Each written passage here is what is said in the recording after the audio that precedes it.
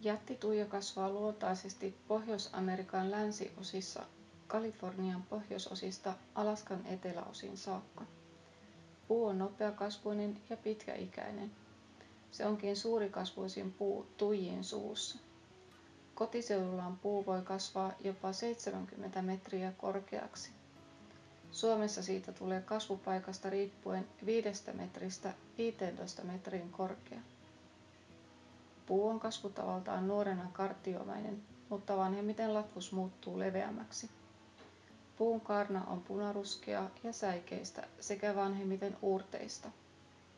Jättituijan suomumaiset lehdet ovat ainavihantia yksittäiset lehdet voivat pysyä oksillaan jopa kahdesta kolmeen vuotta.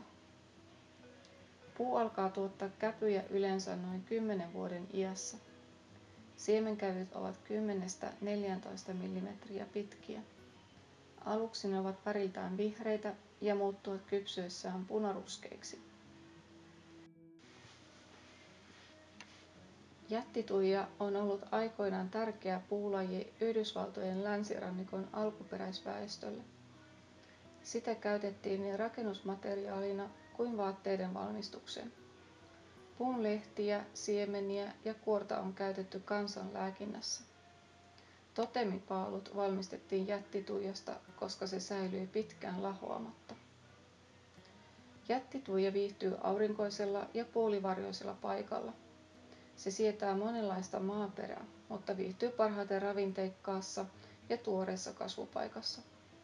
Puu tarvitsee nuorena monien ainavihantien kasvien tavoin suojaa kevätauringolta jos kasvia ei suojata niin sen oksat voivat kuivua ja ruskistua. Jättituija menestyy suomessa kasvupaikasta ja pienilmastosta riippuen nelosvyöhykkeelle asti